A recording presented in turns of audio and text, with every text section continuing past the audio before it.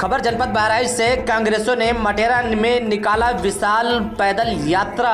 जी हाँ, खबर है बहराइच के मटेरा विधानसभा क्षेत्र में कांग्रेसों ने निकाला विशाल पैदल यात्रा। वही आने वाले चुनाव को लेकर कांग्रेसों ने मटेरा विधानसभा में अपनी कमर कस ली है और लोगों को जागरूक करने के लिए पैदल ही मटेरा विधानसभा क्षेत्र में निकल चुके हैं। कांग्रेसों द्वारा नारी शक्तिकरण का, लड़की हूँ, लड़ सकती हूँ प्रियंका गांधी जिंदाबाद लगाते हुए कांग्रेसों ने मटेरा क्षेत्र में पैदल यात्रा किया गया। इस मौके पर पुलिस प्रशासन व भारी संख्या में कांग्रेसी मौजूद रहे। देखिए पूरी रिपोर्ट प्रीतम सिंह के साथ बहराइच।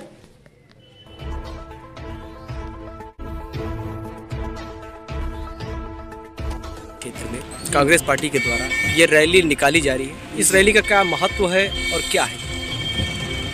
आज का रैली का महत्व है नारी सशक्तिकरण, नारी को आगे बढ़ाना नारियों को मज़बूत होकर आगे चलना। हमेशा नारी लोग घर के अंदर चूल्हे चौके पर, गोबर पानी पर, खेत पात पे ज़्यादा पीछे हो गई हैं। उन लोग पढ़ना चाहती है, लड़ना चाहती है। नारी क्या नहीं कर सकती है? नारी एक रूप अनेक, नारी हर काम कर सकती है। मैं एक लड़की हूँ, नारी हूँ, लड़ सकती हूँ। पुरुष लड़कों की तरह काम कर सकती हूँ। मुझे मैं एक स्त्री नहीं हूँ जो स्त्री करती रहे। मैं देश के लिए भी कुछ कर सकती हूँ। इसका महत्व यही है कि नारी हम लोग आगे बढ़ते चलें। सब एकजुट लड़के पुरुषों के साथ कंधे पे कंधा मिलाकर चले। हर पुरुष लोग हर महिलाओं का साथ दे। हर एक घर से हर पुरुषों का आ, मैं पुरुषों से निवेदन करना चाहती हूँ कि अपने माँ बहनों को अपने बेटियों को पढ़ाइए बढ़ाइए और शिक्षित बनाइए। उनको देश के लिए समाज के लिए कुछ करने के लिए आगे बढ़ाइए और अच्छी शिक्षा दे तालीम दें उनको। ये नहीं कि उनको चूल्हे चौके पर बाँध के रखिए। बस ग्राउंड से होते मटेरा रेलवे ग्राउंड से होते हुए हम लोग ये रैली निबिया तक जाएगी। वहाँ से फिर हाँ रेलवे ग्राउंड से होते मटेरा बाज़ार होते हुए निबिया तक जाएगी। अब यहाँ के विधानसभा क्षेत्र के लिए संदेश ये है कि हम लोग नारी नारी को आगे बढ़ाते ले जाइए उनको आगे पढ़ा के ले जाइए। बेटी पढ़ाओ बेटी बचाओ इसको आगे बढ़ाइए और आ, इस विकास के लिए इस क्षेत्र के विधानसभा विकास के लिए सब लोग अग्रसर होकर एकजुट होकर आगे बढ़ें।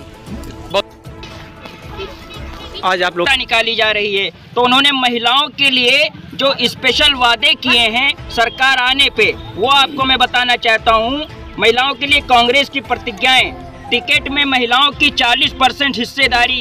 ये उत्तर प्रदेश की किसी भी पार्टी या हिंदुस्तान की किसी भी पार्टी ने आज तक ये वादा नहीं किया है, जो हमारी प्रियंका दीदी एआईसीसी महासचिव और प्रियंका गांधी हमारी हमारी प्रभारी उत्तर प्रदेश कांग्रेस कमेटी। छात्राओं को स्मार्टफ़ोन और स्कूटी, हमारी महिला, जो भी छात्राएँ, इंटर पास या ग्रेजुएशन, उनको स्मार्टफ़ोन स्कूटी देने का वादा किया है और सालाना तीन गैस सिलेंडर मुफ़्त देने का वादा किया है। महिलाओं के लिए फ्री बस यात्रा।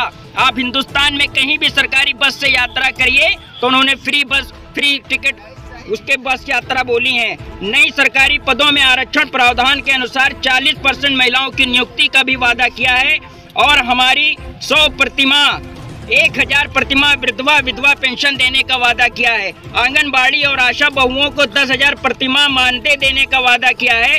प्रदेश में वीरंगनाओं के नाम पर पचहत्तर दक्षता विद्यालय खोलने का वादा किया है।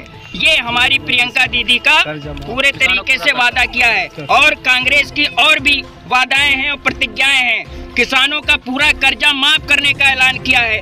2500 में गेहूँ धान और 400 पाएगा गिन्ना गन्ना किसान देने का वादा किया है।